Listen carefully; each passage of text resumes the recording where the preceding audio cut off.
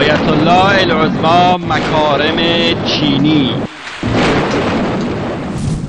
دو سال قبل بود که دولت جنایتکار چین با حمله به منطقه ترکستان شرقی به گونه وحشیانه دهها هزار زن و مرد و کودک مسلمان را قتل عام کرد.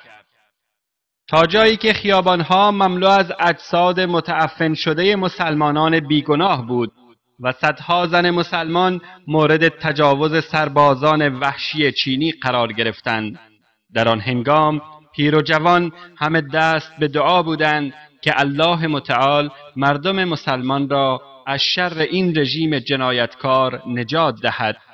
علما و دانشمندان اسلامی هر کدام به گونه این جنایات را محکوم نمودند. در این میان از کسانی که این جنایت را محکوم کردند آیت الله العظما مکارم شیرازی بود که در پایگاه اینترنتی رسمی خود بیانیه‌ای منتشر نمود که در آن چنین آمده است. بینندگان عزیز و گرامی طوری که مشاهده می کنید این تصویر سایت رسمی آیت الله العظما مکارم شیرازی است. مدرسه امام امیر المؤمنین پایگاه اطلاع رسانی دفتر آیت الله العظما مکارم شیرازی و اینم در بخش بیانیه ها آمده است و تاریخ خبر هم هست. 21 ماه 4 سال 1388 خورشیدی. در این بیانیه می‌خوانیم که بسم الله الرحمن الرحیم. اخبار وحشتناکی از ایالت سینگیانگ درباره کشتار وسیع و سرکوب مردم مسلمان این منطقه منتشر شده است که موجب تأسف شدید هر مسلمان و انسان آزاده است. این منطقه که در غرب واقع شده و تقریبا یک ششم مساحت را تشکیل می دهد اکثریت قاطع اهالی آن مسلمانند. تنها گروه کوچکی از نژاد هان از کمونیست ها در آن زندگی می کنند این منطقه صنعتی و حاصلخیز اخیرا محل شدیدترین درگیری ها بین مسلمانان و گروه نجات پرست هان واقع شده است. گرچه دولت این را یک نزاع قومی قلمداد می کند ولی حمایت دولت از گروه مخالف و سرکوب شدید مسلمانان و تعطیلی مساجد آنها همه حکایت از این دارد که توطئهای بر ضد مسلمانان منطقه در جریان است. درست است که دولت و ملت روابط دوستانه و نزدیکی در امور اقتصادی و سیاسی با ما و سایر کشورهای اسلامی دارند ولی این دلیل بر آن نمی شود که برادران و خواهران مسلمان ما را در آن منطقه به وضع فجیعی سرکوب کنند و ما خاموش بنشینیم. ما ضمن محکوم کردن شدید این سرکوب ها از همه مسلمانان و تمام آزادگان جهان دعوت می کنیم که اعتراض شدید خود را نسبت به این حرکت غیر دوستانه اظهار دارند و یک صدا از دولت بخواهند که به این وضع خاتمه داده و مجرمان را مجازات کند.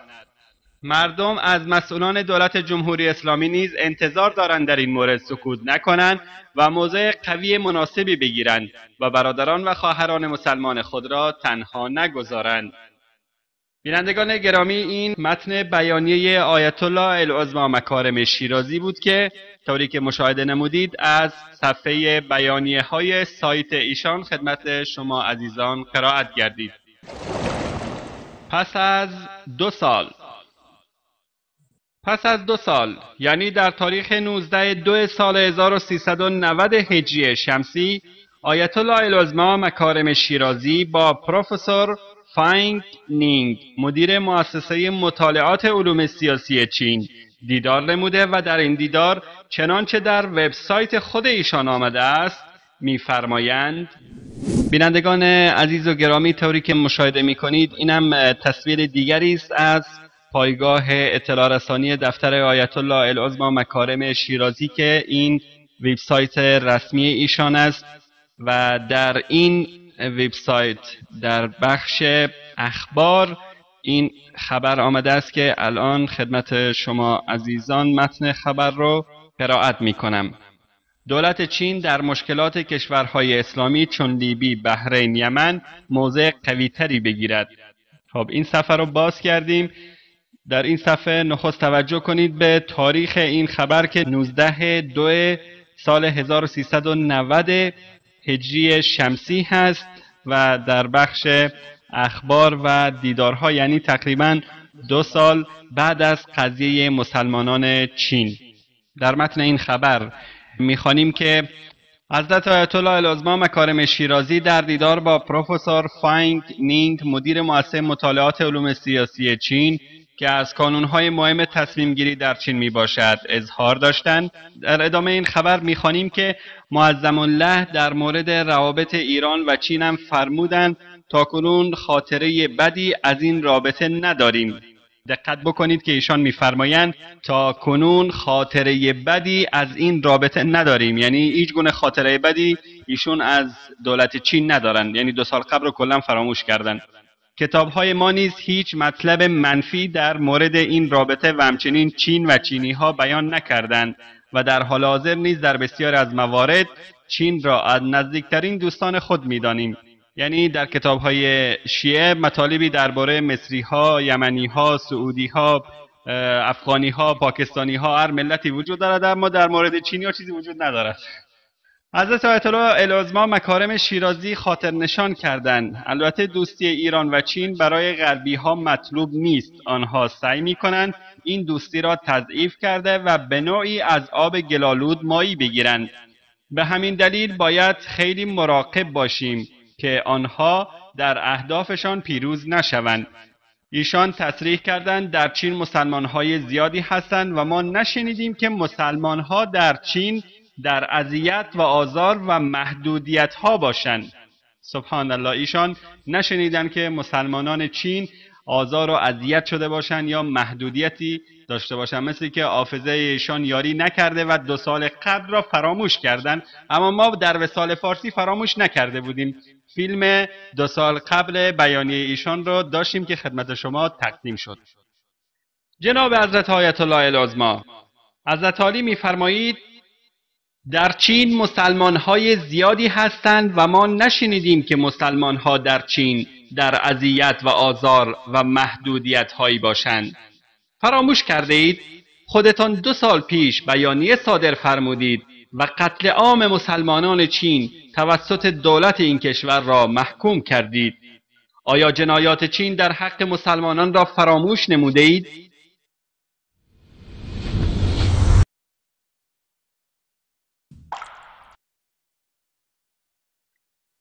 جنایت دولت مردان چین در حق مسلمانان. مصادره قرآن ها تحت عنوان واپسگرایی. آتش زدن بیش از 730 هزار کتاب چاپی و دستنوشت در میدانهای عمومی.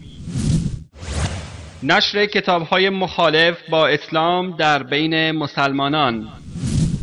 به زندان افکندن علمای مخالف با ایده کمونیستی. تعطیل کردن 28 هزار مسجد و تبدیل کردن بسیاری از آنها به رقاصخانه. تعطیل کردن 35 هزار مدرسه اسلامی و تبدیل کردن آن به مدارس نشر افکار کمونیستی. مجبور کردن زنان مسلمان به کشف هجاب و پرداخت 6500 دلار جریمه نقدی در صورت مخالفت مجبور کردن زنان مسلمان باردار به سخت فرزندانشان در سال 1991 میلادی در یکی از شهرهای چین 35 هزار زن باردار بودند که تنها به دو هزار زن اجازه وضع حمل داده شد و 33 هزار زن دیگر مجبور به سقط فرزندانشان شدند. بردن دختران مسلمان به زور به گردانهای نظامی و تجاوز به آنها. ممنوع کردن نماز جمعه برای جوانان زیر 20 سال. آزمایش اتمی در صحرای ترکستان شرقی که منجر به نقص عضو 20 هزار نوزاد تازه به دنیا آمده شد. محرومیت نوزادان دوم خانواده های مسلمان از شناسنامه و تابعیت رسمی کشور چین. جناب آیت الله العظما مکارم شیرازی آیا اینها را فراموش کرده اید یا برق کالاهای چینی ایمانتان را به یغما برده است؟ به ویژه که حضرت عالی صاحب کارخانه شکر هستید و چه بسا چشم داشت گنج قارون در ورای سنای چینیان گفتن دارید. حال اگر چند هزار مسلمان بمیرند اشکالی ندارد زیرا خونشان ارزش گشایش نمایندگی کارخانه شکر عزت عالی در چین را ندارد. جناب آیت الله العظما مکارم شیرازی آیا به راستی شما دین دارید؟ آدم دروغو کم حافظه هم هست. آدم دروغو کم حافظه هم هست. آدم دروغو کم حافظه هم هست.